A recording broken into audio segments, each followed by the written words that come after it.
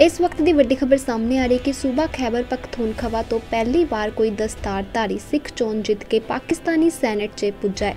ਇੱਥੋਂ ਦੇ ਗੁਰਪ੍ਰੀਤ ਸਿੰਘ ਹੁਰਾ ਨੇ ਉਪਲਬਧੀ ਹਾਸਲ ਕੀਤੀ ਹੈ। ਇਸ ਨਾਲ ਪਾਕਿਸਤਾਨ ਹੀ ਨਹੀਂ, ਸਗੋਂ ਭਾਰਤ ਦੇ ਦੁਨੀਆ ਦੇ ਹੋਰ ਹਿੱਸਿਆਂ 'ਚ ਵਸਦੇ ਸਿੱਖਾਂ ਤੇ ਹੋਰ ਪੰਜਾਬੀਆਂ ਵਿੱਚ ਖੁਸ਼ੀ ਦੀ ਲਹਿਰ ਦੌੜ ਗਈ ਹੈ। ਇਸ ਤੋਂ ਪਹਿਲਾਂ ਕਿਸੇ ਵੀ ਦਸਤਾਰਧਾਰੀ ਸਿੱਖ ਨੇ ਕਦੇ ਵੀ ਸੈਨੇਟ 'ਚ ਇਸ ਪਾਕਿਸਤਾਨੀ ਰਾਜ ਦੀ ਨੁਮਾਇੰਦਗੀ ਨਹੀਂ ਕੀਤੀ। ਪਾਕਿਸਤਾਨੀ ਸੰਸਦ ਦੇ ਉੱਪਰਲੇ ਸਦਨ ਸੈਨੇਟ ਦਾ ਮਹੱਤਵ ਬਿਲਕੁਲ ਉਹੀ ਹੈ ਜੋ ਭਾਰਤ 'ਚ ਰਾਜ ਸਭਾ ਦਾ ਹੈ।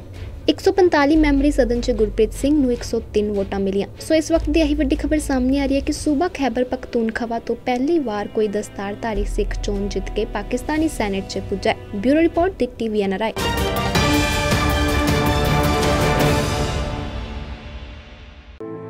ਜਿਵੇਂ ਕਿਸੇ ਫੁੱਲ ਨੂੰ ਮਹਿਕਣ ਲਈ ਉਹਦਾ ਖਿੜ ਜਾਣਾ ਜ਼ਰੂਰੀ ਹੁੰਦਾ ਹੈ, ਉਵੇਂ ਕੋਈ ਰਿਸ਼ਤਾ ਨਿਭਾਉਣ ਲਈ ਉਹਦਾ ਮਿਲ ਜਾਣਾ ਜ਼ਰੂਰੀ ਹੁੰਦਾ ਹੈ। ਸੋ ਰਜਿਸਟਰ ਕਰੋ ਜੀ ਸਾਨੂੰ ਸਾਡੀ ਵੈਬਸਾਈਟ nrimb.com ਤੇ।